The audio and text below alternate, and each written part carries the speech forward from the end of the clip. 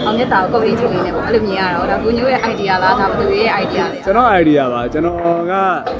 အောင်မြတ်တာကိုမတူညီတဲ့အောင်မြတ်တာပုံစံတစ်ခုနဲ့သွားမယ်ဆိုပြီးတော့စဉ်းစားထားတာလေနောက်ကျွန်တော်ငယ်ငယ်တော့သဘောကျခဲ့တဲ့အဲဆရာကြီးမင်းသိန်ခါဝတ္ထုတွေကစကားလေးတစ်ခုပေါ့နော် European စုနဲ့ရောသာသနာပြုလို့မရဘူးလားဆိုတဲ့ဟာသဘောကျတာအဲဒါကြောင့်အောင်မြတ်တာကိုကိုကြီးညီဖို့ပေးလိုက်ကျွန်တော် ကိုဝင်းကြည့်တာမဟုတ်ရိုက်ဖြစ်မှာမဟုတ်ဘူးဗျာ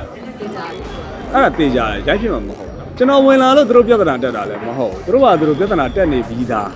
ပြဿနာတက်ထားပြီးသားအချိန်ကျွန်တော်ကအခက်အခဲဖြစ်နေတဲ့အချိန်ဝင်ကူပေးလိုက်တာဒါပဲ